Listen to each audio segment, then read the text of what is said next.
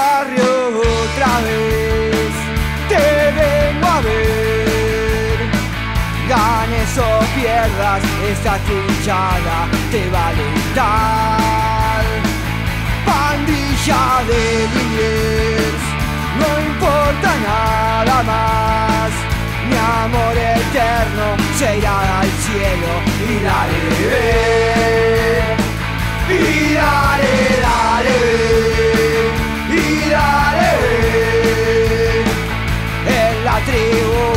tantos recuerdos que vos me das. ¡Vamos, dale! Dale, dale. ¿Cómo están? Bienvenidos a Tribuna de Vélez TV. Después del triunfo de anoche, casi estoy difónico por el gol de El Mono y también por el gol de Robert Tone en la noche de Quilmes. Vélez le ganó un grande a Estudiantes en un partido épico.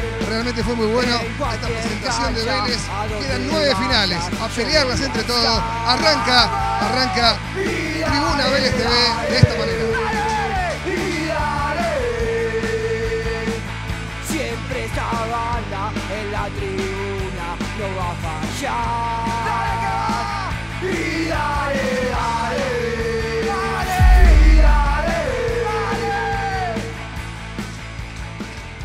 Todo buen programa tiene una buena secretaria. Y el otro día, todos estos que están acá y muchos más me preguntaban por ella. Señores, Luli Vázquez con nosotros. ¿Cómo están? ¿Cómo le va? ¿Cómo estás, Darío? ¿Todo bien? ¿Bien? Sí, bien. Estuvo viendo el partido. Sí, por supuesto. Eh, La prohibición de no poder ir a, a muchos eh, la dejó afuera de la cancha, en la cancha de Quilmes frente a estudiantes. Lo vio por Sí, televisión. Tal cual, sí, sí, sí. ¿Y quién Muy fue, bueno. para- en- con su gusto femenino y futbolístico, quién fue el mejor jugador? Y el mejor jugador, eh, Mono, puede ser, ¿no? Ajá. Eh, Anduvo Domínguez. muy bien, el mono Sí. tiene un nivel excepcional. Sí, la verdad que sí. Muy ¿Quién bueno. más le gustó? Y Domínguez también. ¿Pero Domínguez le gusta cómo juega o por otra cosa le gusta a Domínguez? No, no, como juega, por, por supuesto. Ah, por- los Sí, ojos azules y esas cosas no se fija usted. Claro, no, no, no. ¿Cómo Ah, ¿no se juega? fija? No, no, es nivel profesional, me gusta Vélez y nada, cómo juega. De fondo un trueno, ¿eh?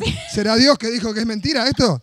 No, no, por ¿Eh? favor, no, no. Estamos en plena tormenta, estamos grabando y, y bueno, eh, bien Vélez, entró con el pie re derecho. bien, la verdad que sí, ganamos, estoy re contenta. Muy bien. Obi tiene buena todo. vista de ahí, ¿no? ¿Eh? Tiene una buena vista de ahí.